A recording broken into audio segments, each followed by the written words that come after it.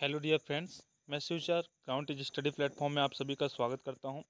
जी हाँ दोस्तों, आप यहाँ पे देखेंगे जो सी बी नर्सिंग की जानकारी, इसके बारे में 10 आठ तेईस को एक सूचना जारी किया गया था, जिसमें समय सारणी क्या होगी उसके बारे में जानकारी दिया गया है। काउंसलिंग प्रक्रिया अभी शुरू नहीं हुई है पर आप कब से रजिस्ट्रेशन कर सकते हैं, क्या है काउंसलिंग प्रक्रिया की प्रोसेस उसके बारे में यहाँ पे मैं जानकारी आपको बताऊँगा।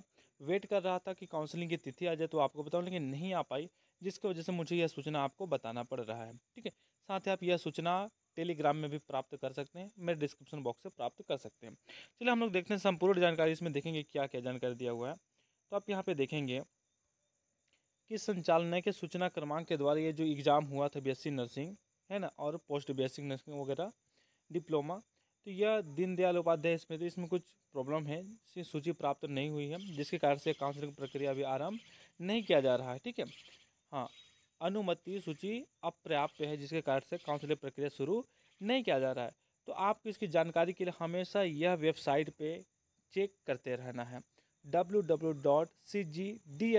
इन पर आपको चेक करते रहना है कि क्या अपडेट आ रहा है, कब स्टार्ट हो रही है, कब स्टार्ट नहीं हो रही है, ठीक है? चलिए इसी में हम लोग आगे बढ़े तो यहाँ पे आप देखेंगे दो पेज साथ ही यहाँ पे अपलोड किया गया था। सेकेंड पेज यहाँ पे जो है, ये चार तारीख का था। साथ ही इसको कंबाइन करके दस को जारी किया गया है। इसमें यही तीन कारण लिखा गया है कि क्या क्या स्थिति है। आप इसे आराम से पढ़ पाएँगे। साथ ही आप हमारे टेलीग्राम से भी प्राप्त कर लेंगे। अब देखेंगे इसके अकॉर्डिंग यहाँ पर जानकारी दिया हुआ था। ठीक है। फ़ेज़ वाइज एक्टिविटी तो सबसे पहले आपको 10 से 16 के बीच में रजिस्ट्रेशन यहाँ पे जो है एक्टिविटी आपको कर लेना था एप्लीकेशन रजिस्ट्रेशन यहाँ पे हो जाना था, ठीक है? लेकिन यह नहीं हो पाई। साथ यहाँ पे आप देखेंगे 18 से आपका कौन से पब्लिकेशन मेरिट लिस्ट बन जाएगा, ठीक है? साथ ही आपको अलॉटमेंट लेटर मिल जाएगा तो काउंसिलिंग प्रक्रिया स्टार्ट हो जानी थी आपकी दस से सोलह के बीच में। लेकिन ये प्रक्रिया शुरू नहीं हो पाई, अपर्याप्त सूची के कारण से। तो आप दिन प्रतिदिन डेली आप चेक करते रहिए, वहाँ पे काउंसलिंग प्रक्रिया में ओपन करके देखिए कि क्या काउंसलिंग होना शुरू हुआ या नहीं।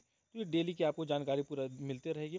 साथ ही हमारे चैनल पर भी आपको अपडेट मिलते रहेगी। इसके लिए आप हमारे चैनल पर बने रहें या सब्सक्राइब कर लें और बेलाइकन को दबा दें। साथ ही आप देखेंगे इस साइट को बिल्कुल भी ना छोड़ें। मेरा यही कहना रहेगा आपको कि कंटिन्यू आप अपडेट देखते रहें। चलिए मिलते हैं अगले वीडियो में। तब तक के लिए बाय बाय जय हिंद, वंदे मातरम।